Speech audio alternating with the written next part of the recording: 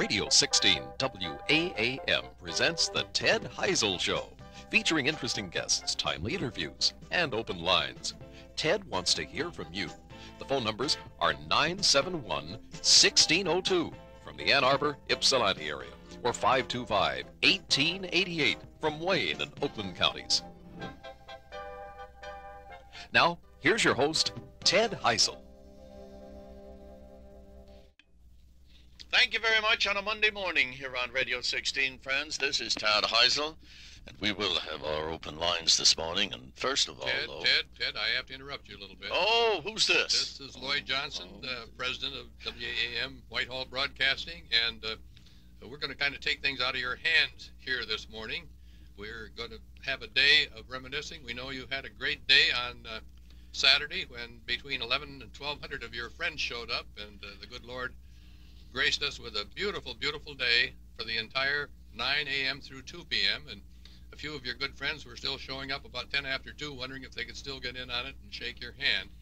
But we're so grateful for all of those wonderful, wonderful, loyal listeners who came to honor you on for your 40th anniversary of broadcasting and uh, interviewing in the Ann Arbor area on Ann Arbor Radio. So uh, we've got a few little surprises. We want to do a little reminiscing Ted this morning about those 40 years uh, in uh, in radio in Ann Arbor, and uh, we've got uh, some of your old friends lined up that are going to be calling on you today. Some of them by telephone, some of them in person. So, uh, where So, are they? Uh, well, we're uh, we'll uh, we'll have them come in here. We we wanted to be a surprise, so we didn't have them uh, in here standing around because knowing uh, That is a surprise. knowing how gregarious that uh, that you are, uh, we we knew that we'd probably never get you in the studio, even if you got to uh, talking radio with some of these old friends. Okay, uh, Ted here is a voice from the past that uh, you may recognize. Good afternoon. Welcome to the University of Michigan Football Stadium for this, the surprise party for Ted Heusel. That's that's uh, Steve Filipiak. That's the way he used to do it. Welcome to the University of Michigan Football Stadium. Steve Filipiak. That's the voice that came in there. And uh, is Steve around? Well, I think he is. Yes. Hey, come on in here, Steve. Steve Filipiak. Happy 40th. Hey, sit down there. I think, uh. Oh, what was the? But What, of course, nobody else does, do they, Steve? Steve, what was the name of that the theme song? Here, get that. Uh, what was the name of that theme song you used to have? Uh, 12th Street Rag. 12th Street Rag. Yes. Pee Wee Hunt. Pee Wee Hunt. Played it for 14,000 times. I used to to play that on the, on the harmonica, and I almost ended up with a hernia from it. You know, that was that was Yeah. a lively one. That's the way right. Steve always came on the air. Well, And- Ted, this is a great, great time for you, and you well deserve it. Well, Steve, listen, I, I didn't see you Saturday. Well, I didn't want to show up Saturday, and then you figured, well, you know, this is a surprise, so I wanted to be here for a surprise. You know, that came off my head. It was the last scab of the spider bites.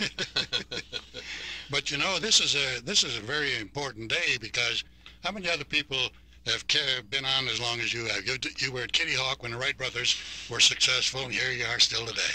Well, listen, That's a great career. Still a flying high. I, I used to uh, send signals back and forth to Marconi. Well, it's been a long career and a very, very fruitful one, and I think a very good one for the local area. I wonder if Bud Lester uh, knew about this. Uh, remember Bud? I- Uh, yes, sure, he was yeah. your personal friend. Bud was uh, an innovator, and he was 20 years ahead of his time. That's right. And Meredith Bixby, who started uh, OWOIA. Yeah. That's where you worked with Ted. Was WOIA, Yes, wasn't yeah. it, uh, Steve? You know, Yeah. uh, the one nice thing about Bud Lester is that uh, we were uh, spinning records one day, as everybody did, and we stopped and we said, "Hey, why don't we just have people call in?"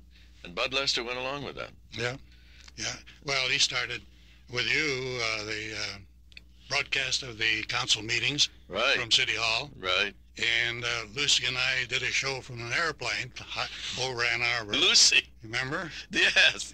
And uh, Well, listen, that the funny incident about that is Lucy and uh, Steve were in the airplane broadcasting down. It was a big flight day at uh, Ann Arbor Took off from Ann Arbor Airport. Yes. And then they, they hooked up the parachutist, and he was going to describe as he was coming down. And the funny thing was, he didn't care about jumping. That didn't frighten him. But he would he couldn't talk on the air.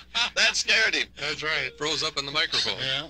That's but, right. Uh, Where was where was your WOIA studios located? on Brasso Road, on the Ma- uh, Saline Ann Arbor Road, after you get past the um, Mhm, mhm. the uh, the Lake That's Road. the same Lake? location where our neighbor WIQB. Yes, Yes, yeah. exactly. The NRS exactly. is located there. Yeah. Yes. Very precious ground, if Bud only knew of Traverse Point right now. hmm Yeah, it certainly is today. No question about that. But you have seen a lot of things come and go. And Steve used to be manager out here I see. hmm on the know, WHRV. Now, now, that was starting back about 40 years ago that you're oh talking yeah, about. that was 1940, 1947. Seven. you know, that's when it And uh, this was a dirt road, just a two-way dirt road. Mhm. And we used to do programs out of the out, out- outside with Ollie, McLaughlin, Scooby-Doo, and uh, Ollie had 25,000 personal card, membership card cards. carrying members. I know he of the would be Scooby-Doo Club. extremely pleased to have had the opportunity of being here Oh, today. yeah. Now, Yeah. shortly after I bought the station seven years ago, WAAM, he called me and I had a wonderful conversation with him, and, and he filled me in on a lot of that early history. Well, he was used to he go was out on the front special. lawn. Yeah, he was, Yeah. you know, and Saturday nights when Ollie would have a show out on the front lawn, people he was the best baby, biggest babysitter in the in the Washtenaw County because the parents knew that they were in good hands. And we'd have a couple of sheriff deputies out here directing traffic, and then Ted Johnson with his pajama party would start after that. Right, Yeah. right. Ollie and his Scooby Doo. In fact, uh, you know, there's there's a little uh, race relations that went on there because people didn't give uh, blacks jobs in those That's days right. in radio stations, and Ollie really was the first. Uh, Well, a wonderful uh, leadership person like him in the community was certainly good. very, for- very for much that. so, Lloyd. Very much so. He was he was one of a kind. He just uh, outstanding personality. And I know when the when the services were held at the um, Yeah. St. Andrews, I ushered at his. Ernie Harwell came Yes. up and he, uh, he presided. presented a eulogy uh, for um, the memory of Ollie. Yeah, those were those were outstanding days back then. When it never, I, I have never seen at one time, locally or anywhere else, that many people, well, air personalities at one time. Mhm. And you know, today, for instance, we used to give jobs to uh, University of Michigan uh, students. You know John Rich. You remember John Right, Rich? He's right. one of the outstanding producers in television. Has been for years. Uh, Mordjarkov, He was head of Columbia Pictures Right. when he worked here with Don Herman. And he never got the baseball scores or names right. right. It were did. the Detroit Cardinals and the St. Louis right. Blues, and it was. But uh, there were many, many names that, uh, of course, I'm getting so now I can't remember too much, but uh, in the way of uh, names.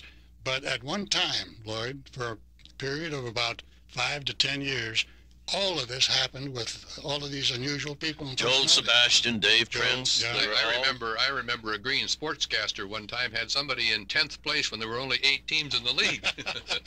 We did a show, John Carroll. You remember John Yes, Carroll? yes. We did a program of uh, covering the uh, Ypsilanti Ann Arbor High football game from Ypsilanti by the river, and it was raining. Frog Island. Oh yeah, raining like you like you have never seen. And it got so you couldn't see the markers on the field. You couldn't see the numbers on on the jerseys. Mhm. So John and I split up on the thing. He would take it for one series of plays by one school. I would take the other. Neither one of us knew what we were doing, but it was exciting. and so finally, he got say, he says, "I think it's your turn." I said, "No, I think it's yours." We didn't know which team was playing at the time. Steve, in, a- in, uh, in, a, in an experiment uh, with the Ann Arbor News, uh, tried out an election return right from the newspaper, which in those days the newspaper and the radio did not Not get along. to see eye. They would erase the call letters if there were a picture taken of me or uh, anyone of the, on the staff in the newspaper. They would say local announcer. And it was under Bud Lester that Well, we started them That's, on that's a regular place, basis. Uh, one regular place we basis. progressed a Right. long way, Steve, Oh, because yes, our, yes. our good friend Don Faber from the Ann Arbor News came to our party on Saturday, Oh, and great. Uh, we were very pleased to have them. Right, I hear that Tommy O'Brien called you. Yes, Tom O'Brien. Yeah. We gave him his start at WOIA. Right? And if he'd have stayed in radio, he'd have been outstanding. And Lucy had uh, John Lendecker come over, who Yes. turned out to be the number one disc jockey at Yeah. one time right. in the country. He's in Cleveland now. Is that right? Yeah, WJW. And uh, going over, uh, like uh, well, Obama, I would think, a just outstanding success in Cleveland. We're going to be back. This is Peggy Haynes, the County Clerk, Register of Deeds, wishing congratulations to Ted Heusel on his 40 years of service to the Ann Arbor listening area. We all want to tell Ted how much we appreciate his contributions to the community. Well, thank you, Peggy. Steve, uh, back one, in one thing before we before we go on is that Ted was the greatest walking ad for apples. For back in apples. those days. Ted always had at least one apple in his pocket, Keeping all the doctors away with and him. he would munch on an apple. And I I, I see it Uh. day- day after day. Ted would always have an apple. people used to take bets on whether they could ever catch him without an apple in his Right. pocket. Well, while we were uh, uh, listening to the commercials there, Ted, we were talking about what the size of the staff was at WOIA and some of the special projects and commercials that you people were were pioneers uh, in.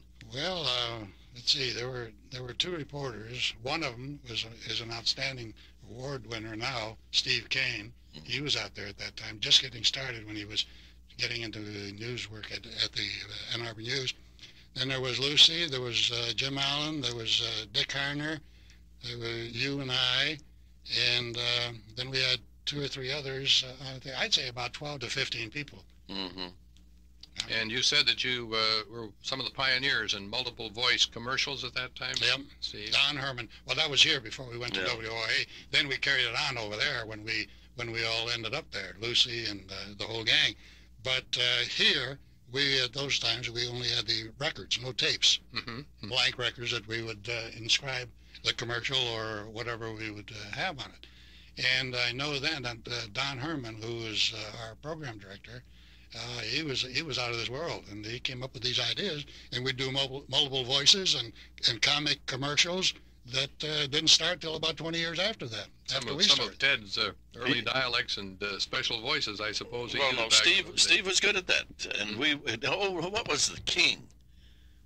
What was that funny voice you have? It was the king. Oh yeah. Well, Well, we started this. how did that go? That was uh, anytime something would happen. And Herman got me up in a get-up with a squash top hat that was slanted on one side and an old uh, uh, long tail coat and a, uh, a scarf. And I looked like I just got off the uh, last freight train off, off the last box and looking for empty bottles in the containers. You know, that kind of a character with a smashed old cigar butt that I was carrying around. And so we crea- created this character to come up as a, and he would throw it in any time during the day, on station break or after a commercial or something, and he would say, "Well, Your Majesty, Yeah, Your Uh, Majesty. uh, that's what's uh, what's with you today?" Well, sport, let me tell you. Uh, the other day I was on the campus over here uh, on, the, on the university, and my, you know, they used to say four out of five girls are beautiful. Fifth one comes to Michigan. And I found out that that wasn't so. There are a lot of beautiful girls. Can you, by the way, can you let me have two dollars till tomorrow? That kind of a character, see. And we would pop these and, things and in. you'd pop it in almost any time. Anytime. Uh, news yeah, you never knew when His Majesty was coming around. And then when Frank Babcock uh, bought the station, I had gone then. I'd come back in 70, yeah, seven, late 69. And uh, He was a big voice. he was of the big voice at that time Mhm. of Cadillac and uh, Marlboro cigar- c- cigarettes, and he was the voice of the Chicago Bears, and all. outstanding voice, and outstanding talent, and an outstanding individual. And he would come up with ideas. He said, uh, "Let's try this." So what we would do would tape four or five of these things, and I would come on with different voices, just with a line or two. And then bing, the door would shut with a bang, and uh, Never overdone. never, just uh, always underplayed. That- In fact, they uh, then they drop him off and bring them back. right, right. Did you have any uh, studio musicians back in those days, or uh, was that? Uh, I know that they, they had No. studio musicians, but No. uh, you No. were into the uh, We had- records and uh, for No, music. what they did do at HRV once, uh, I remember when uh, I was still in school, they had a, an orchestra in town of Glenn Miller's brother, Herb Miller. Hmm And the I HRV. don't think I've ever used- heard of Herb Miller. Yes, Herb Yeah. Miller had his orchestra, and they would play at the Michigan League, Right, and HRV would uh, pick it up from there. right. Mhm. Right. Mhm. We would have a program on Sunday afternoon. Uh, Gene, uh, the accordionist, Oh, uh, yes. Sheehan was his name. Gene- Schumann? Schumann. Oh, Gene Schumann. Gene Schumann used to play on a program here Sunday afternoon. Is that right? Well, Gene Schumann has played for our Whitehall Convalescent Home Oh, for he's many, great. many years, 25 years, and he has a brother that's a drummer. Yes. He's a Uh, legend. an And old just like like our friend Reed uh, Pierce, who passed away just a little while Yes, ago. just a few uh, Yeah. few But weeks we ago. would we would do a lot of Howard remotes, Schumann was uh, uh, was an all-state football player when they only picked 11 guys Hmm. in the whole state of Michigan. He was very We good. would do a lot of remotes in those days. We'd go on location. For instance, out of Weber's, we used to do uh, the organist at the Michigan Theater. What was his name? Paul Tompkins. Paul Tompkins. He used to be a featured artist at Weber's. We would go out there and do a half hour in the evening. Mhm. Uh, we would go down uh, to create any occasion of welcoming the students back to the campus after after the summer or something. And then we'd, we'd uh, be in, in a uh, position, location-wise, that drew people from any direction, and they would come down and watch this Well, the, the nightclub at the uh, at WOIA. Uh, uh, Yeah. Remember that uh, from what was the restaurant uh, in downtown Ann Arbor where the great seafood is now? Right. Oh, that was, um, oh my gosh, yes. And they had a little orchestra there. That was They- the old Rubaiyat. The That's what? when it started, the The Rubaiyat. Rubaiyat. No, the Rubaiyat, yes. And then moved down to the corner of, uh, And they had a piano player there that used to play with Ted Weems. Right. they had a little orchestra, and they Right. used to do that in the evenings. Now, But you see, remotes in those days didn't cost what they do uh, now That's with right. telephone lines. That's You know, you get it for Sure. 25 bucks or so.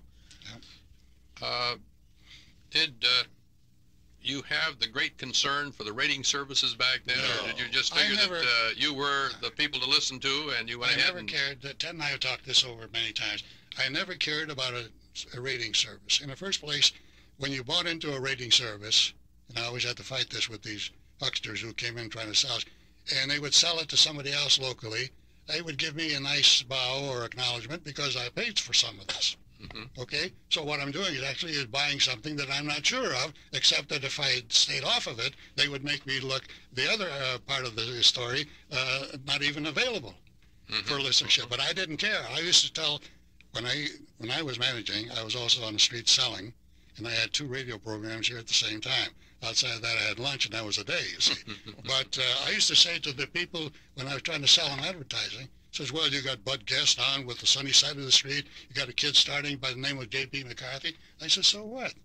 That's for Detroit. And if Ann Arbor people like to listen to it, nothing wrong with that. But I would rather have 500 local listeners who would listen to my commercials that we would put on and buy from those merchants than have a 50,000 audience who wouldn't buy locally. you were you were trading numbers for credibility. That's right.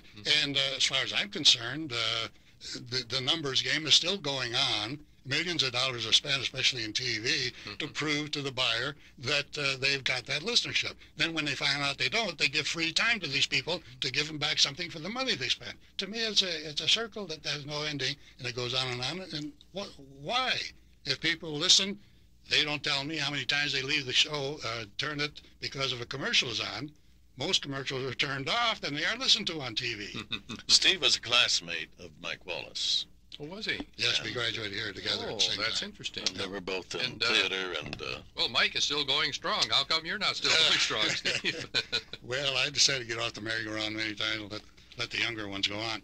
But Mike was just as good when we were in school here at the, uh, in the communications uh, major than he is today, as he is today. He was a natural, except he developed a style through the years and became uh, an outstanding uh, radio as well as a TV personality. and for some darn reason, uh, his his hair didn't turn gray like the rest of us. I always wanted to ask him the secret to that, but but after a while I didn't care. No, he was he Well, was of course, his son. Chris Wallace has made a name for himself. Yep. Um, you you never uh, stayed in close touch with him after he left the university. We did for a number of years. Yes, I, I worked when I worked in Chicago for a spell in between uh, my career here.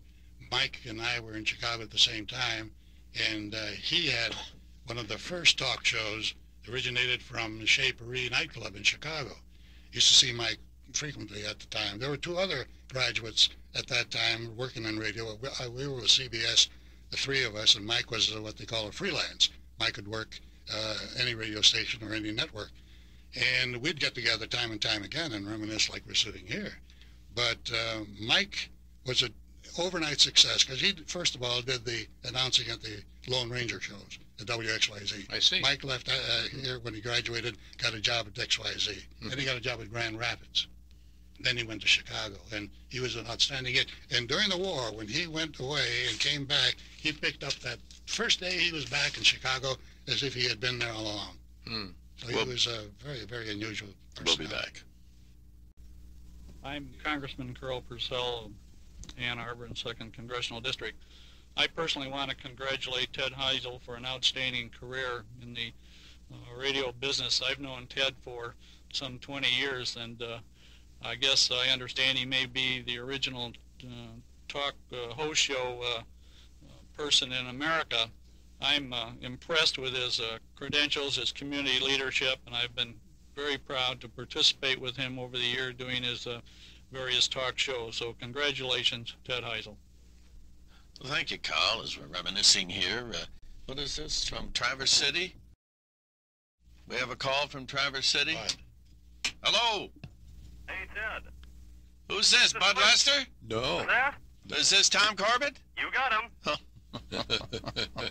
Hey, I couldn't make it to the big shebang you had on Saturday, so I just wanted to call and wish you uh, congratulations on what I understand is your 40th anniversary uh, behind the mic. That's right, Tom. We want to thank you for calling. Hey, no problem, Ted. It's good to talk with you again. How are you doing up in Traverse City? Doing real well, real well. TV's a different ball game. It's a lot of fun. I'm out in the field a lot, uh, covering everything from plane crashes to forest fires to whatnot. Uh, I really enjoy it. A lot of fun up here in Traverse City. It's a real nice place to live. Mm-hmm. Well, we're certainly happy that you called, Tom. Well, just wanted to call and uh, wish you we remember working with you and uh, very happy to have had you with us. Oh yeah, well, when I was at WAAM, it uh, was uh, my best years in broadcasting were there, and uh, you know it was a, a kickoff point for my career, and I really have fond memories of working with you all, including you, Ted. Lloyd wants Well, thank you very much, Tom. I was pleased to see you uh, personally here uh, last weekend, and uh, you said you missed some of the exciting news stories that breaks in this Ann Arbor and southeastern Michigan area that uh, sometimes doesn't happen quite as often up there in, in that beautiful Traverse City Bay country. It's a beautiful area, but there are times where, uh, let's just say, not too much goes on at night. And uh, you know, being a, a born and bred Ann Arborite, uh, you tend to miss it at times, but still, uh, northern Michigan is by no means overrated. It's a real nice place to live. It's, it's a beautiful place, that's for sure. And thank you so much for your participation in our show this morning. Thank you, Tom. Thank you, Ted, and congratulations. All righty. Bye-bye. Bye bye now. Steve, let's Lloyd- not forget Don Bailey there. Right. That, uh, before we go into that, Lloyd, the thing about, and while we're honoring Ted today with his 40th anniversary, is that from the first time that Ted came on the air, I knew the reason for his success, and he'd be here a long time. In fact, he'll be here another 30 years, I think. No, we, we, the we promised him another 40 here. But the reason is because he was believable. He was he was down to earth. He he was believable by the audience, and they knew that he wouldn't give them a bum steer on whatever he said or whatever he advertised. And No, it's a- that's- it's a that's him. quality you see that very few people have, even in big time TV. hmm They're actors and they put on something. Of course, he's an actor, but he's himself. When, when he's himself, he's acting, uh, and he can't be beat. Well, you know, he was so successful in that term on the school board that he served that uh, if he hadn't loved Ann Arbor so much and had been willing to go to Lansing, he probably could have been governor. He could have. could have. Yeah. Hey, Steve, uh, uh, getting back to the reminiscing, uh, remember uh, the Don Bailey did a show here too, and he'd play music. But you see, the- this was a knack that he had. Lloyd, he would buy uh, 78 size tra- uh, records, and uh, they would have music on it, but they would have a chance for the person who could sing the tune, like Don Bailey. Oh, yes. He would come on while the record is playing. He would come on with the vocals for that particular Mhm. song, Sounded like he was being playing being with an orchestra right here. backed with a, by a 12-piece band. Right, and it was here every Saturday, every Saturday uh, he, morning. he owned a TV show then. Right. It's a shop. Yeah, right. And then he managed the apartment uh, restaurant uh, in the Huron Towers. I guess he's back in Florida. That's what I hear, yeah. And then you said Harry. Uh, Well, Harry Wismer, at the time I was here managing, Harry lived right near outside of um, of Ypsilanti at the what now is the Cliffs on the Point. Mhm. He had a Oh, home yes. there. And uh, on weekends, if he was coming home on weekends, he would come and do. He was on the air on ABC at that time with the around 6:15 with the sports show. So Harry would come here and do the show direct from our studios. Mhm. And uh, matter of fact, right at the end of the hallway here, that's where the studio was. And uh, then we uh, uh, we went on with that for quite some time. We got started with the coaches who uh, would come and um, do their program, and uh, Bump Elliott was the first one. We You didn't about. have to pay him in those days. Right. And Bill Fleming was doing some work here too at Mhm. that time before he flowered. Didn't Harry Wismer's brother, uh, wasn't John Wismer a brother of Harry Wismer Yeah, that had the station in uh, was Port Huron? Port Huron. That's Mhm. exactly right. Yeah. And Harry was a, was at Michigan State, and he would commute on Saturdays. Mr. Richards, who owned the station WJR at that time, had a liking for Harry, and he would come on weekends and do a program on WJR. He eventually became the general manager of uh, WJR. So um, there there was a lot of this uh, touch of. Uh, You know, we have another another pioneer in the radio business in this community, and he's uh, part of our sales staff now at uh, WAAM. That's Tom Johnston. Johnston with a T. with a T. You know, I have a little dirty trick that I play on, on people, uh, Steve and, and Tom. Uh, you know, the oldest trick in the book is that if you forget someone's name, you walk up and say, how is it that you spell your name again, your last name? And I always say without the T, and I don't help them one little bit. So I'm a Johnson without the T, Tom Johnston with the T. Well, it was Tom back in those early days. Tom, uh, while Tom is here, I- and I, Lloyd. I couldn't understand, or you couldn't solve the what I thought was a puzzle of how this could happen. But Tom Johnston, when he was here on our staff, used to tape the football games and basketball games of the high schools, and then sell it the next day on a uh, repeat basis. And I thought to myself, how can this be? He's, he's quite a salesman because the game was over and the mm-hmm. paper showed the, the score, but Tom had a, a an idea and it was quite successful. The people would tune in. He sponsored, he sold the show to sponsors and they would replay the thing, rebroadcast it. Well, it- Tom actually started with the coach's corner. He was the first one right. to have all the coaches on the air on Saturday morning. That was his idea. And then he uh, then he started with the Saline Hornets. That's right. We when we were at OIA, we couldn't. Uh, we were uh, had to go off at sunset, and uh, uh, of course, you know, we did the sports, and uh, uh, I remember going down to Bud Stein and Ward Gates, who I think it's wonderful that they are still. The company Stein and Gates still is a sponsor on local radio, Right. which tells you something about the loyalty Yep. and the strength of radio as an advertising medium. Yep. For 15 minutes, I think they paid three dollars a spot for three one-minute spots, and we started putting on the high school coaches. And before long, we expanded that to an hour. We'd have them call in, and Gary Sanch, who uh, does some of the uh, play-by-play here with John Fountain for Eastern Michigan, used to come in and take football scores for me. And uh, Don Howe, you remember Don? Yep. He used to do that, and he's now a, a broadcaster somewhere. And uh, He used to broadcast the Pistons. Well, he got a job at JR after he left here. He got a job at JR as a Right. sports. And so was John Fountain, wasn't he here? John John came in here and he took over the sports when I left to go to 50 in Right. Detroit, and then Larry Zimmer also. Larry you know, Zimmer, right? There was a there was a career there locally that he went to Denver from here and still there, doing the pro and the local local uh, sports there. But we did a lot of we did a lot of uh, sports uh, at Wham when I came over from OIA. We uh, Bob Wagner they had had an afternoon sports show on, and and uh, we we were able to. Uh, in those days, they they didn't even know schools didn't even really know what to charge for uh, rights fees. I mean, they were so happy to have you do Right, something. They right. little schools, for example, on the high Yeah. school level, would put up a um, um, uh, you know a, a press box. In effect, you'd stand out in the open, That's right. and uh, we used to we used to replay the game. We used to have a game of the week, and then we replay one on Saturday morning, do a live one. This Friday thing that I mentioned with John Carroll when we did the play-by-play uh, of the Ann Arbor uh, Ipsy game, we, they had built a special box on a telephone pole, and we sat out there in the driving rain I remember doing, that. doing this broadcast.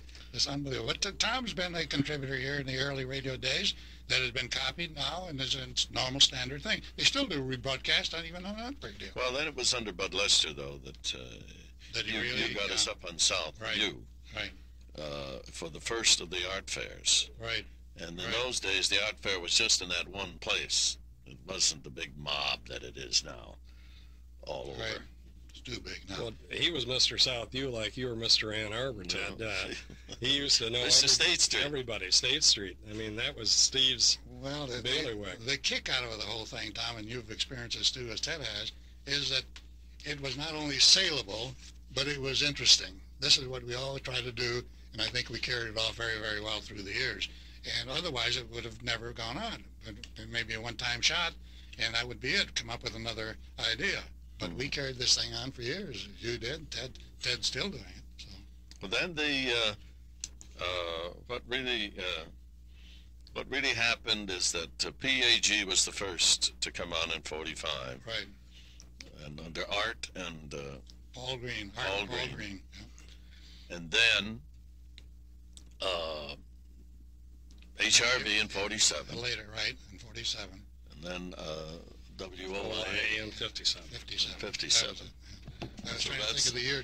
Ted, I, I wanted to ask you, you know, with all of your experience in uh, the Civic Theater and all, did you uh, people here ever ever produce any original radio dramas or anything here? Well, we used to at WUOM.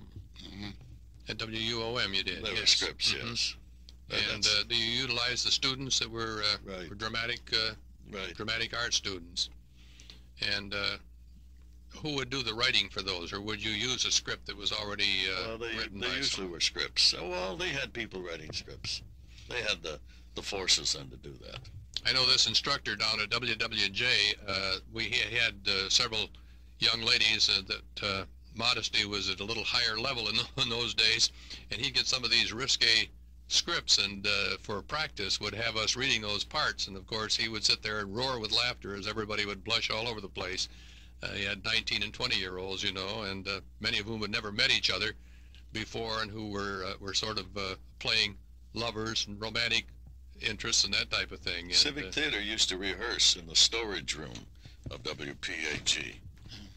Well, you know, talking about uh, on-the-air uh, plays and, and dramas and all that, we started back in those days where, say, for instance, Cary Grant would be opening up at the Michigan Theater. I would, they would make a call, or we would place the call because he was all set for it, and the, I would interview him in the afternoon, usually around one o'clock or one fifteen, and uh, maybe a two, three minute interview on the air. They would send a script Mhm, yeah. to us, and we would do this with, with many, many stars who were who were uh, being featured at the Uh. Ted, Ted, we've got another guest here. We'd like to have you listen to this voice for a moment and see if you can identify this voice out of your past. Joe Stefik. Thanks for uh, many, many years of working together with you at another radio station. Um, I'm proud of your achievement of 40 years in broadcasting. Um, proud you taught me the magic and imagination of radio. Um, as you once told me, television has imagination, but only expands it up to 21 inches, whereas radio goes on forever. You also taught me how I could come in on Saturday mornings, for example, and not have to shave because it was radio. You also taught me how to uh, eat an apple on the air while talking with people on community comment. Best of luck to you. Congratulations. You're part of radio history, and I thank you for it. Well, that's the nice and lovely voice of uh, Joe Stefik, who used to sit in. he was the only one that would sit in uh, for us uh, when we went on vacation. So, Joe, welcome. Thank you very much. Joe, Hi. come in here. My gosh, long time. It has been. Good to see you. This is like coming home, Ted. Well, thank you, Joe. It's it's nice to see you again. Hey, we're going to. Uh, oh, let me see here. Yes, Hello there. yes, How are you, Ted? I'm fine. Oh, good. Congratulations. We enjoyed your party on Saturday. This is Katie Rankin. Well, Katie, thank you for coming. Well, we were glad we could, and I wanted to also invite your listeners to come on Friday to the Women's City Club to uh, enjoy the tables and tea that's going to be there. Are you familiar with that? The tables and tea. Tables and tea. This is the second year that they have done this at the City Club, and um, we want to be sure that people know that the City Club does provide a meeting place for many charitable events and volunteer groups. And this is to support the facility of the City Club, and it's it's really an interesting uh, kind of display. There'll be 35 different table settings Mm-hmm. and uh, there will be it's a five dollar admission, and tea and refreshments are served, and then also luncheon will be available for six fifty What are the hours? from eleven to four. 11 to 4. And that's Friday, June eighth. I'll send Steve over there. 11 to 4.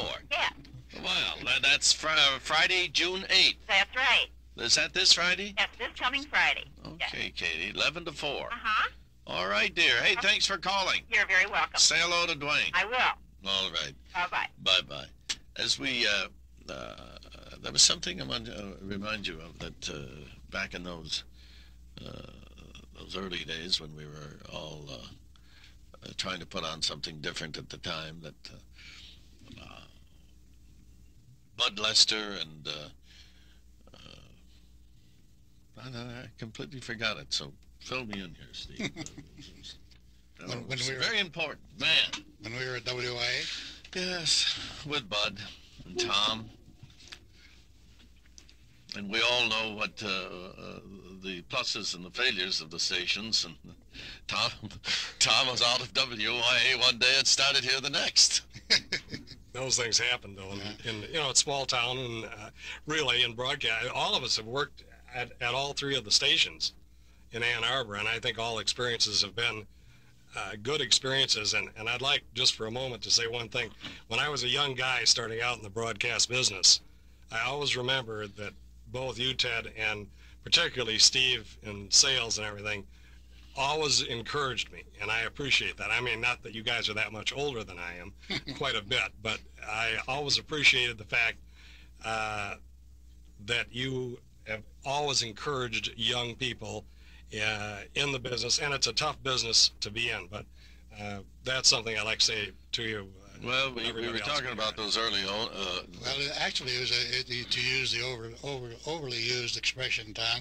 It was more of a family. Uh, this is a Right. team. The reason the Pistons were great is because they played as a team. They were all great, Hmm. and we were the same way as a family back then. Tom you've was outstanding with ideas, and and everything. We all went our way, but we all were together because we wanted to augment the other's opportunity to go on with something. That Well, you know, when, winner. when you when you stop to think of those uh, those early owners, uh, we talked about Bud, and he was uh, he let you be creative and, right. and change That's things. right. And I have to hand it to Mr. But Gordon, in those days, we ran the thing anyway, so we did what we wanted here. and I have to hand it to Ted Bond, who was probably the best businessman ever in uh, in radio. he he, true. he Always was the the stock markets every day. That's right. He made radio a success, and uh, under Lloyd, uh, Lloyd is probably the most compassionate of all the. He had a fascinating story about uh, the Green brothers and how he finally uh, acquired um, the old WPAG. Um, he was working out of Pontiac at, at the time as a salesman, and Is that right? Right, he was selling selling airtime for WPON. exactly, Right. exactly. That's when I first got to know him. man. And I have a, an ancillary story that uh, goes back to my days with Armed Forces Television Radio. Uh, it turned out when I wound up in northern Italy doing some broadcasting there with the Southern European Network, the equipment was being replaced, but it was equipment that came from the Blue Danube Network in uh, Austria. Uh, and when Austria went neutral in um, the mid 50s, they shipped that down. It turned out that equipment was requisitioned from WPAG in Is that 1945. That's very Still had Is the that right? labels and the I'll let ID you numbers. on it. Ted, we have to mention Meredith Bixby. Probably the nicest, nicest person that you A wonderful man, and, and Mrs. Bixby too. Yes, yes, and I did a lot of voices for them on their puppets that went all over the. Thank you once again, friends, as we have been joined by more friends here as we discuss old old time radio here in Ann Arbor. Jim Bond is with us, the general manager of WPZA, and the part owner and former uh, manager of WPAG. His father owned in downtown Ann Arbor. We were talking about your dad earlier, Jim. That uh, you know, in, in my experience, he's probably the best business manager radio's ever seen in this area. Who made a real success out of it, out of uh, local radio, and uh, and uh, now you're in that spot, and you were in that spot, and uh, we think about some of the old names that uh, that your father had there at the radio station when you were a little kid. You're right. I was a little kid, You remember that? like six years old when they put the station on the air, and had a chance to meet all the initial people. Not, I don't remember some of them because it was uh, too small at the time, but some of the key people that were there, like Howard Heath and Bob Ufer and Al Sanborn, Dave Pringle, Ken McDonald, just to name a few of them, were there. I think that crew was with my dad probably about 15 to 18 years uh, during a period when the station. The same people, well. Yeah, same people. And Jim, the thing, I interrupt you for a moment when you mentioned McDonald. One of the, that's a point that makes local radio interesting because uh, Ken would come up with ideas and be successful with it. Then we would top him. then he would come up with something. And there was always this competitiveness in local radio that stood the town real well in, in a matter of interesting programming. Mm-hmm. And Howard the same way with his uh, with his farm and home hour. Uh, the, that was wanted... that was very unique. This is a guy that built that all himself, right?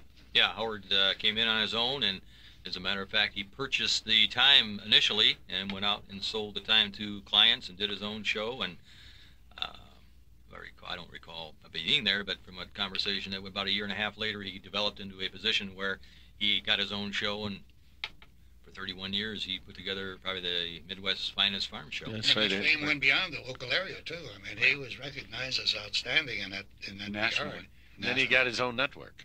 Yeah, he developed yeah, right. the uh, Michigan Farm Radio Network, which is still run by Bob Driscoll and John Stolman, and doing very well. Did you ever have to fill in for uh, Howard?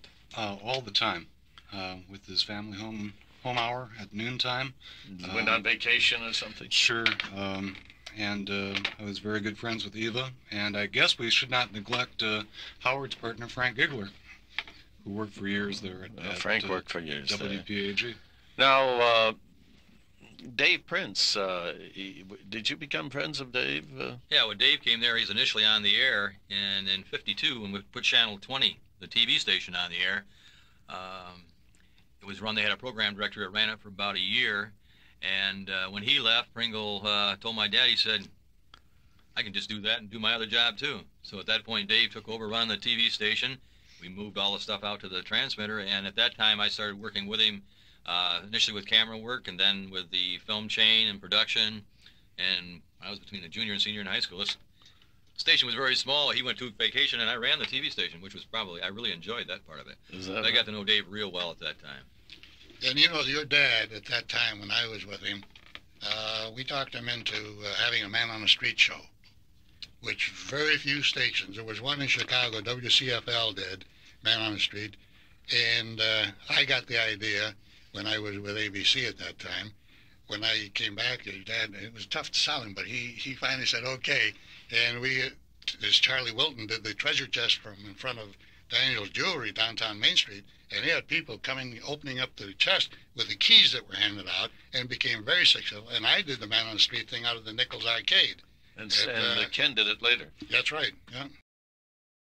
Hey, we have a call from Jim Michaels. Hi there. How are you? Well, we want to thank you for calling. Well, I just called to say congratulations, Ted. It uh, it doesn't seem possible it could be that long that you were on the on the radio. Of course, I'm, you know you're that's longer than I am old, but uh, I I had involvement there, and, and Wham was the first place that I had worked in uh, back in the '70s, I guess back in '73, and uh, we used to we used to listen to you. I'll tell you a story, and, and while you're telling old radio stories, I'll tell one from the 70s.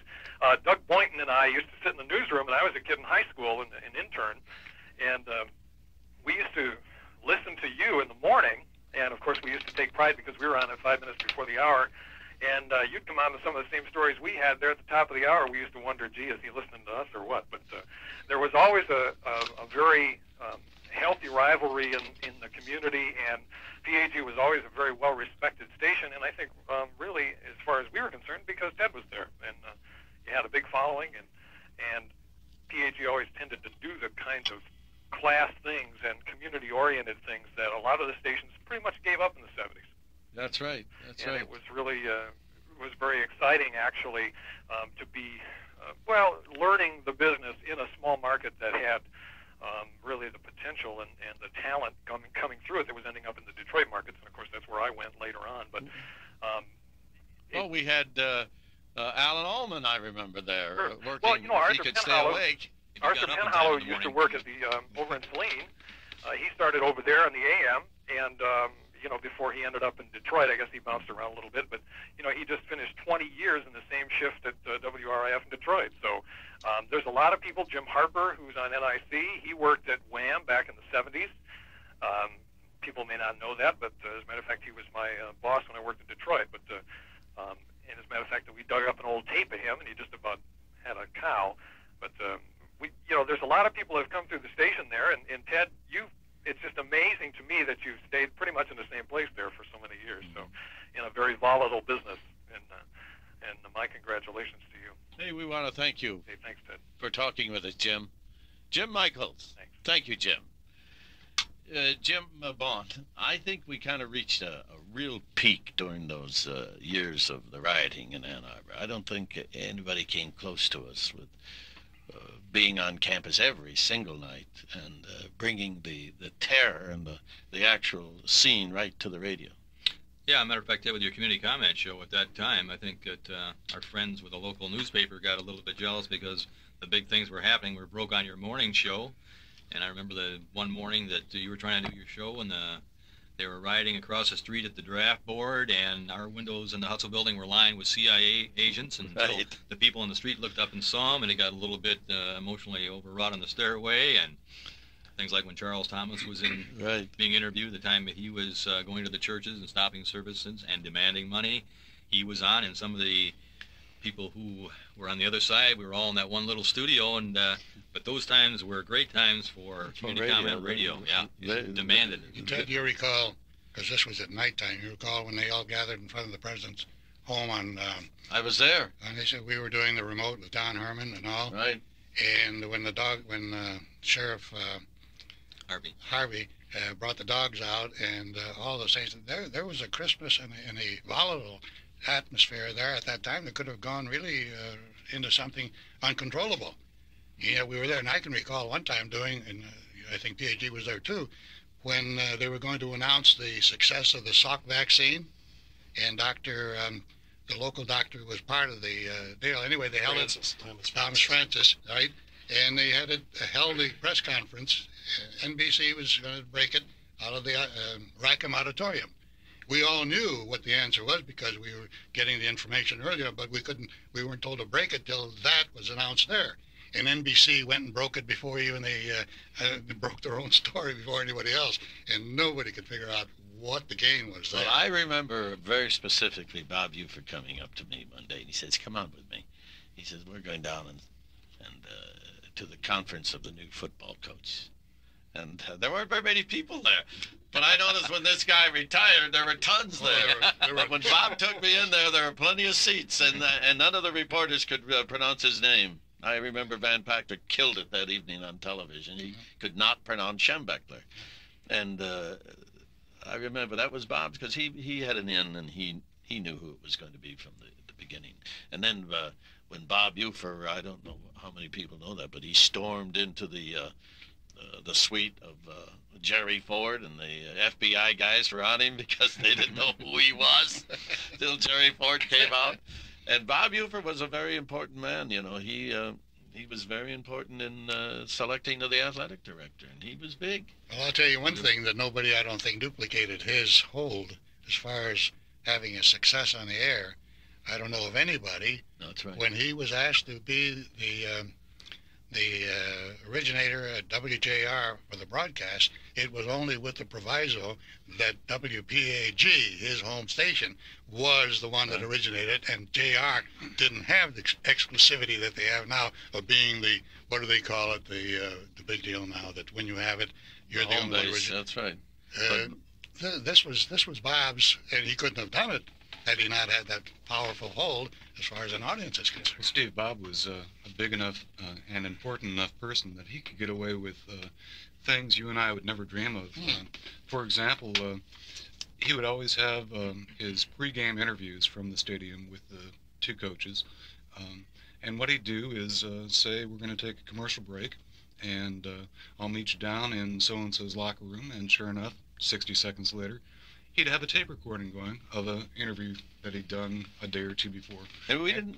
Then he'd take another break and he'd say, "We're going to go yeah. across the way and go into Bo's locker room and and sure enough, there came up that interview, and of course that was on tape. Ufer never left the press box. 60 seconds after the interview with Bo, he was all the way across the stadium right. back up, you know, third floor on, on the press box, and there he was ready to go again, and he never gave it away. Jim, I don't think we, we had to pay coaches in those days. No, it's no. the big deal. No. They even printed in the No. newspaper what they're making, right?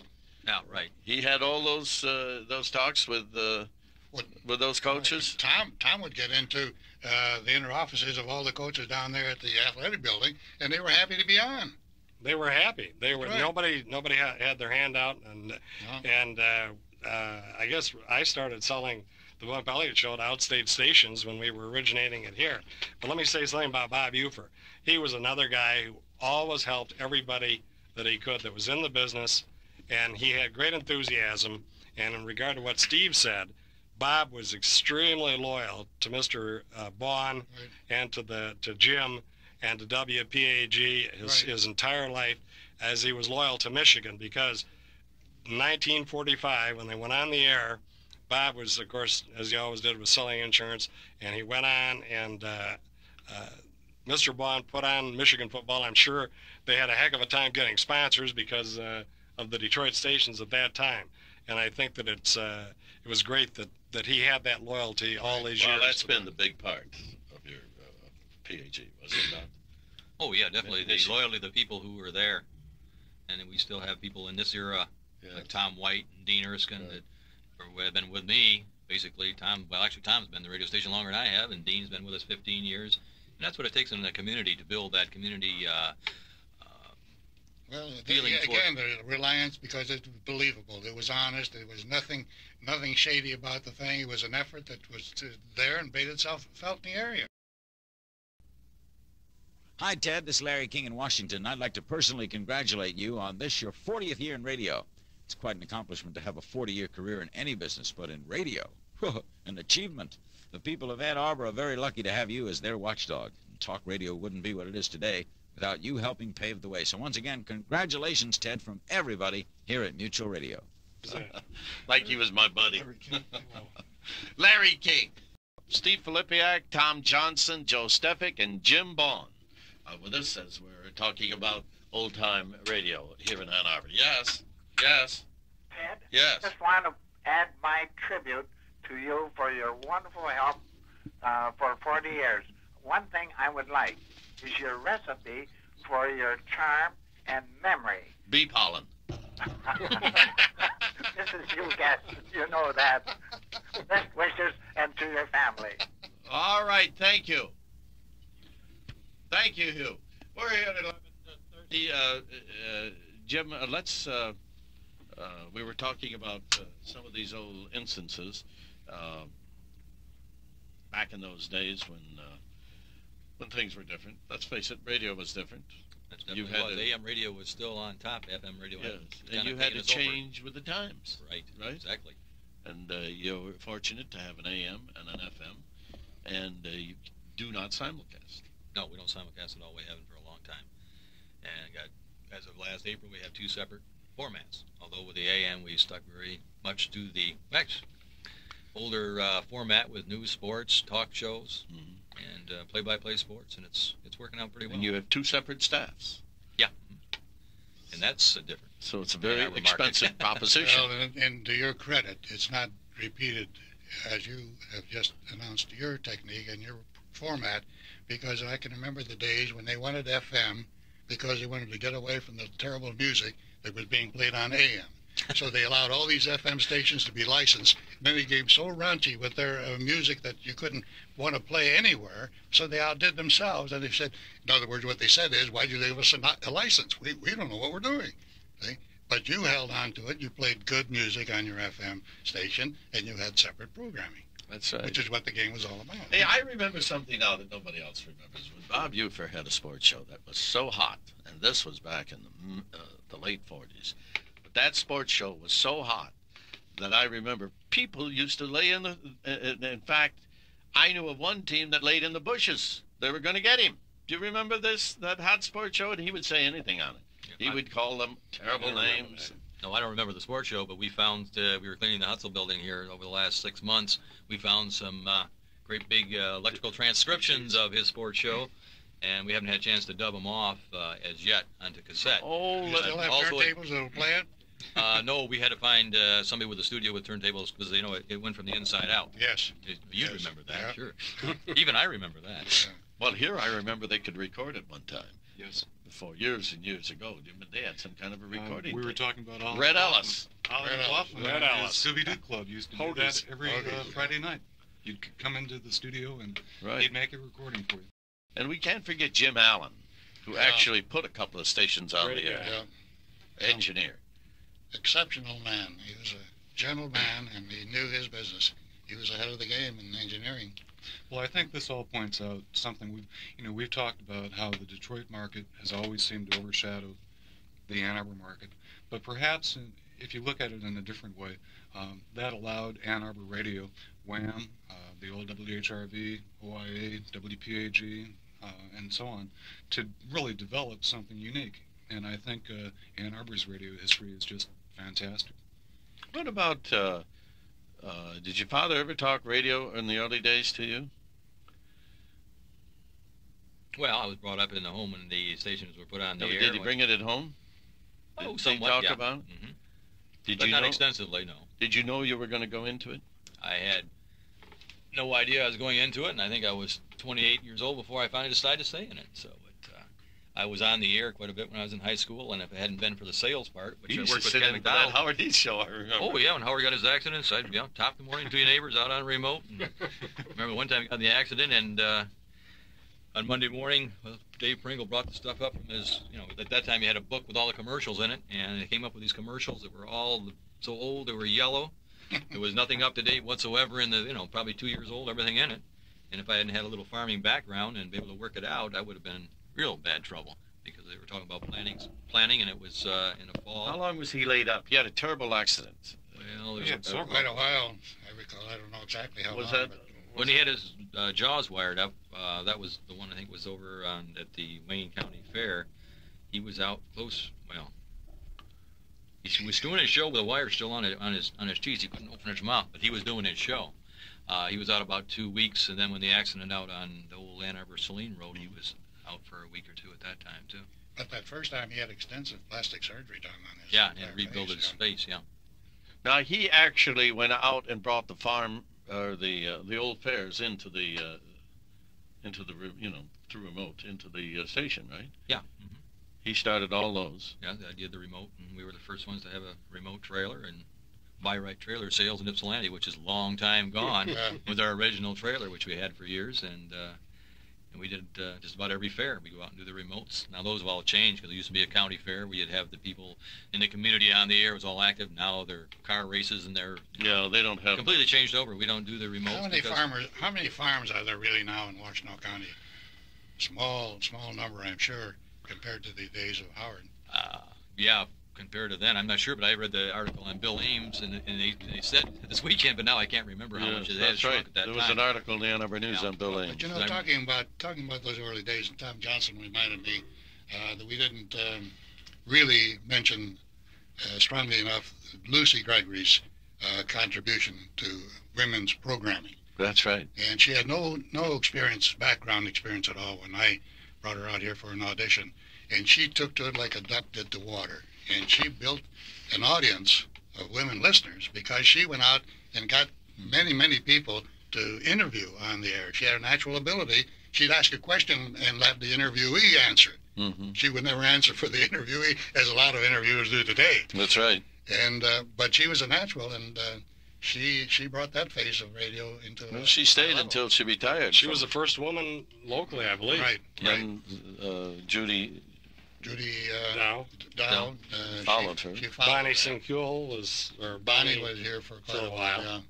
But uh, she Lucy, well, it was Lucy Dobson when she came to work for us, and she did a fine job. That was the time, and Ted was with us at that time. Remember, we ran a remember the cooking show we ran out Right. to the Yeah. Fox Village Theater Oh, Yeah. between you and Lucy's audience, and we had 950 people there to That's watch right. a cooking demonstration. It I was mean, think the packed. power of AM radio at that time. And Lucy would never uh, ask a yes or no question. Right. Oh. She'd Right. always get an extended Yeah. response to anything she asked. she uh, she was at uh, PAG when she retired, She retired from PAG, right? and it was sad that day uh, Yeah, we had a little get together down at the Heidelberg. It was kind of a sad time. because, uh, as Steve says, Lucy was uh, she brought something new into into the Local market. radio, right. Well, I remember during the time she was there, I put her desk in the sales department because she was so upbeat and cheerful all the time. Got everybody up and going. So Well, you don't you remember the day? It was a holiday though, and she didn't think anybody would be listening on the holiday. You want to say that? You I remember can't remember what she offered to give away. Was it her cookbook? cookbook? Cookbooks, yeah. she was- cookbooks that were being sold. she offered to give them away, and the phone started ringing. And really, It cost her it cost her a few bucks to get those cookbooks out to people. You see, you never know who's listening. You never know who's listening in radio. Well, I was taught back in the old days, you're, when you're on the air, you're talking to one person. And you're so interested in that one person to get your point across to them that it spreads like a pebble thrown into a pool, and all the people that are listening are going to gain the same thing you're trying to get that get across to that one person. And she had that knack without, you know, she didn't.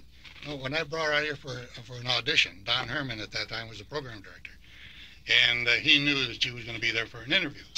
So she went in and read the the copy that Don had for her, and he walked in after five minutes. Says, "Well, that's fine. Thanks a lot." And with that, she was excused, and she went home in tears, thinking that she had flopped. And I, by that time, I talked with Don Herman, and when I called her, she was uh, just completely depressed. And I said, "Well, when do you want to start?" And you know, when she gets excited, she just, would stutter. And I told her then that she passed. He said, "Well, how come only so? It took so short a time." I said, "Because he was convinced in five minutes that you were capable, and there was no point in carrying on the interview." And then she she stepped right in, and from that first day, she was something. And then uh, we used to do a remote at uh, Arborland in the winter. Schoolhouse. And the schoolhouse there with no heat, and the turntable would be frozen. Yeah. In that old trailer? Yeah. well, I Ted, I can remember back when we started the the coaches show at the Frontier Beef Buffet uh, on Monday afternoons, sponsored by Coca-Cola. And we started out, uh, Bump was the coach, and there might have been 10 people.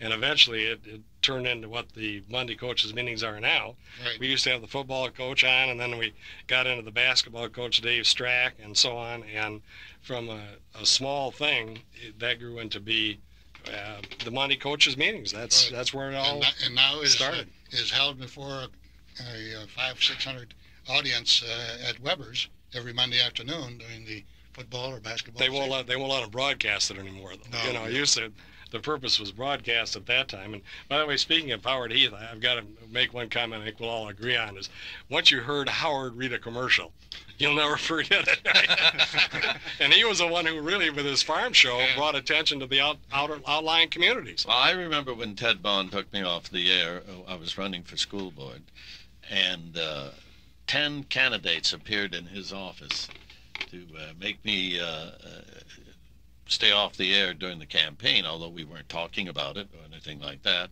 And he had even offered them equal time.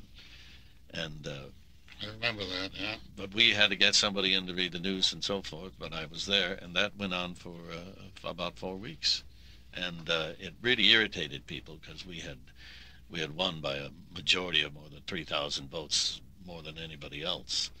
But I remember we went off. That's right. We went off the air that day. We'll be back. This is Mark Ouimet on behalf of Ann Arbor City Council. We want to congratulate you, Ted, on 40 years of broadcast service to our community. Clearly, over the 40 years, you've been a guiding light for all of us, been able to uh, listen to you, talk with you, argue with you, and agree with you. But that's one of the great things about you and the way your show is structured. That's why, Ted Heusel, you've been so important to this community. Thank you. Thank you very much, Mark, a council person who was with us here on Saturday. As we're uh, talking with uh, Steve Filipiak and Tom Johnson and Joe Stefik and Jim Bond as we reminisce through the years of what uh, radio has come through. You know, Ted, I was in the last six months. We've been speaking of history.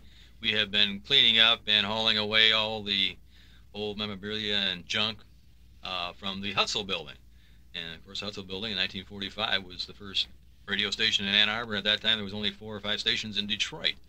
And uh, I was going through some things at my dad's desk and throwing them away. And it, you know, the FCC, you have to apply for a license and you list all your full-time, part-time employees. And I was just skimming through one evening when I was up there, and it had Pat Quinn, Al Sanborn, and got down to the part-time employees. That part-time employee Ted Heusel. How long? I wasn't a date on the paper. How long ago was that? Oh, boy. That's got to go back. That was a long time. Hey, we have a call coming in from Harbor Springs.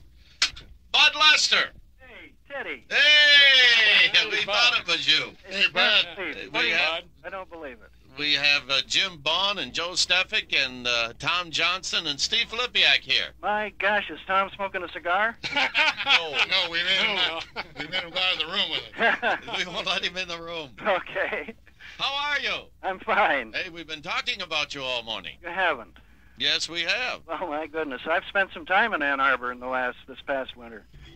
Well, we talked about those days when we first started the uh, gave up the records and started the talk show, and you said go ahead, and yep. and we talked about the days when uh, we got you to start the uh, city council meetings for the yep. first time on the air. I remember. And uh, Steve and the uh, Bud, how are you? Hey, Stephen, how are you doing? Oh, fine, fine. Boy. Good to hear your voice. Nice to hear yours. I wish we could hear it at the stadium. anyway, I brought up the point where you. I've lost all track of Slippery Rock. you made it possible for Lucy and me to do our to do our program from the sky.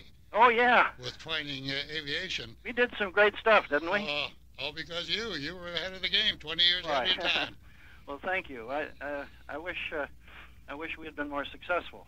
Well, I wish too. We talk about that it. often.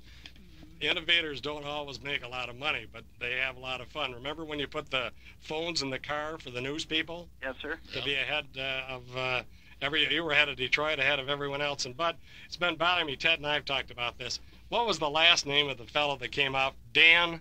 What was that? Dan. Dan Kirby. Dan Kirby from Dan WJR. Kirby, we stole him from WJR. Yeah. And you were the only guy, I don't know if anybody else in the country would do it, but yeah. Jim, Jim Allen would drive the uh, remote wagon yep. the, uh, around town, and we would go on all the streets of Ann Arbor and uh, do a program. That's right. It's never been done before. Well, if it hadn't been for Jim, uh, never could have done that. Oh, he was a magician, that's right. Jim uh, made a lot of things possible. Yeah. Well, listen, uh, buddy, do you miss those days? well, I, you know, I have mixed feelings, Ted. I, uh, I do and I don't. I miss the good times we had, but I don't miss the FCC and uh, the harassment that they used to pull. But uh, um, I, I, I really uh, have fond memories of uh, all of you people. Well, we do too. We have you, you too, Bud. And uh, I'm sure glad you included me on this uh, grand day. Oh well, we we we did, talked about you during that first hour extensively well, you did, about uh, about stuff and, that that happened. And I've been trying to get. Maybe you could send me a tape. Well, maybe we could. Could you? Yes. I'd sure appreciate it. Yes, we will. All right. And how's everything going with you, Bud? Much better. I was just uh, in Ann Arbor uh, last uh, Thursday night and Friday for uh, a checkup. Well, listen, we had the big anniversary out here on Saturday. Well, we, we came home Friday afternoon. Oh, I see. The doctor said I was fine and uh, see him in four months. That's good news. That's fine. Well, that's good. Yeah, so, uh, what I did during the winter paid off, I guess. That's great. How's Debbie? She's great. She's she's managing. Give her, give her her best. Right of me. well, she sends be. you all your, her love. Well, thank well, you. Bud, you innovated a lot of things, including uh, Ted Heusel's talk show, uh, yeah. which was then Community Calendar, Community Comment. That was what community was comment. Community, right. community comment, right? Did a lot of a lot of good stuff, some crazy stuff. Uh, we tried a lot of things, and uh, that was the uh, enjoyable part. So uh, I can't believe it's 40 years. No, it doesn't seem possible, but uh, more than ever, uh, radio needs people You know like what? Bud Lester. You know, it absolutely uh, sent me off the wall. What? I read what they uh, sold uh, our old stations for. We wanted to keep that a secret. Yeah, we were. Believe that? One and a half mil. We all thought of you, Bud. Hey, Bud, one and a half mil. That was a, a pass price. It That's went four for, and a half. wasn't yeah, four and a half. Yeah. Well, it's only money, Bud, you know. I mean, I would have bought a chain after that. You know, each one of you would have been manager. Yeah, all all the losses would have uh, been paid back. Absolutely. You'd have come out smiling. Absolutely. Yeah. That's that's crazy.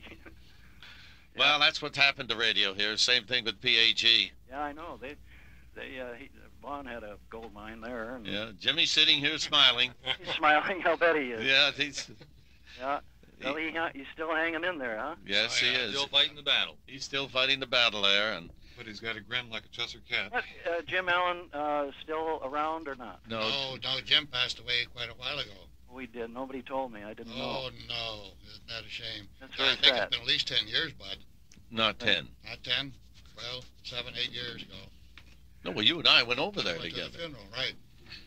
I'm sorry, uh, we didn't think of letting you know. I thought somebody would. He's probably the finest man I ever knew. Yes, he Probably was got a- the best engineer they ever needed for remotes up there now. Pardon? I say they've got the best engineer in the world with for remotes up Oh, there. for now. sure. Yeah, maybe he'll get in touch. I- Ghost, hey, that's Ghost to Ghost Network. Yeah, all right. That's very good, Ted. Record that. Well, Bud, it's been a pleasure talking with you as the former owner of WOIA yes, sir. and uh, the fun that so many people had there, and uh, Lucy Gregory we talked about with you. Oh, yeah, uh, real talent. Uh, Yeah. It's uh, well, my my best to uh, all of you, Ted, and Our best to you and yours. Tom. And Right, Bud. I haven't seen Tom, and uh, I guess since He doesn't look any different. I don't remember when. Getting Uh, better looking every day, Bud. Get, if I get up that way, I'll give you a I'd, buzz. I'd like to meet him sometime. Hey, listen, uh, what was that uh, we mentioned before that uh, he started at WOIA? Don, what? What was that? Uh, I'm thinking of the uh, announcer that went with the Dan, Pistons. no, Went with the Pistons that started. Uh, Don at- Howe. Don Howe. Oh, that guy. Yeah. I well, listen. I can re- I can remember Jim Allen Huh? and his uh, physical problems racing Don Howe on the front lawn there, on on the front. lawn of WOIA. yeah. And I can remember leaving one day and the cows were out there and I ran back in. Yeah. well, uh, Don went from here to there and everywhere. Yes, he did. I wouldn't know where he would be now. I don't either. I've lost track. Well, he's at some school and head of their radio station at Central Michigan or someplace like that. Okay. So listen, Bud, thank you. Thank you very much. But listen, I want you to stay on the line Yeah? because the producer wants to get your address and so forth. All right. Will you do that? You guys have a good time, and I hope to see you soon. All right, Okay, Bud. Bud. Say- hang on the line. Eric, take it away. Well, uh, we know through Bud that uh, that radio was it's a tough foe, right, Jim? Yes, it is. Uh, the figures are bigger now, but uh, when things are going well, it's as much Well, fun as it used to be. But We're Jim, getting- it's a lot easier as far as pressure from the FCC is concerned today than it was when your dad and, and Bud Lester was in. Well, I'll tell you, Steve. Right now, I have an A- FM appeal going on my antenna move, and I've been waiting almost two years for my AM site move, so nothing's changed. Or Well, the it's- but they're not they're not pressure. Well, we're all, I think, we're all uh, dated for uh, for something or other. Yeah, the process is still slow. Well, they try to ready show everybody that they really know what they're doing, and that's uh, Well, you can say and do things on the air that you couldn't do years what they're allowing to go on. So I remember uh, at wild radio is to me inexcusable. I remember at PAG we wanted to broadcast the uh, uh, uh, the movement, uh, the black movement on campus. What was it called at that time? And uh, they were holding their big meetings at uh, Rackham Building, and uh, because of things that were being said, we had to get permission, and uh, we got permission because we picked it up through a, a, a university station. And I recall back in the Nixon years when uh, uh, WPAG was applying for um, longer hours, and the Mexican Senate got annoyed uh, at the Nixon administration for whatever reasons and pigeonholed. Yeah, how? Well, actually, no. That's the it's a treaty with Mexico that governs the power increases and. But you and fought that for years, didn't you? Oh yeah, it's it's strictly I think uh, every 10, 15 years they renew the, the treaty and they make some adjustment changes. And at one point, I think the Mexican government felt they were taken advantage of, so the next time around they kind of put the squelch on everything. And it's a very long, drawn-out process. But uh, Yeah, I, I have to. this last one got us our full-time That's right. hours, though. One big event that uh, another big event that happened there. They blocked off the entire street when I uh, got to interview presidential candidate John Anderson. John Anderson, right? And- the old Hutzel building. That's right. on the third floor, they had uh, uh, FBI men aligned along the stairs, and they put all the help in the back end of the of the station, and they wouldn't allow anybody up by uh, the studio where I was, except the cameraman and myself, the dogs, and John Anderson and his uh, his guards.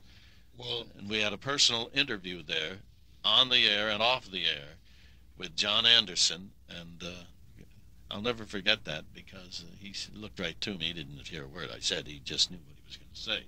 But they had blocked off the whole street. Right. That was a big deal.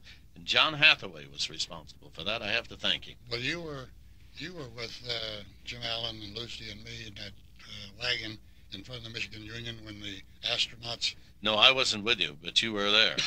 Okay, and they were supposed to Right. have an uh, uprising around there, keeping the astronauts from coming in through the entrance Right. of the Union. Yes. And there was tension in the air at that time, and I was told, "Don't worry, they're going through the front door." And it ended up going through the side door, through the pool room, then coming down the billiard room, and then coming down to the ballroom where they had their uh, interview. Right, right. Well, as uh, uh, we're coming towards the end here, is it uh, is it just tough work for you, Jim? Is it as exciting as it always has been?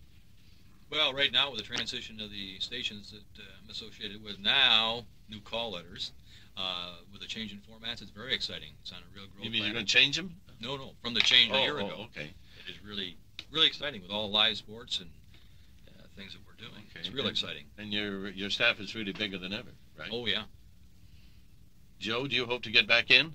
I sure do. I think, as you know, Ted, uh, radio has always been my first love, and and it's just wonderful today to be sitting in a studio that has memories for me with uh, some real legends of Ann Arbor radio: Steve Filipiak, Tom Johnson, Jim Vaughn, yourself, Ted, and and uh, it just feels very, very good to be back in here.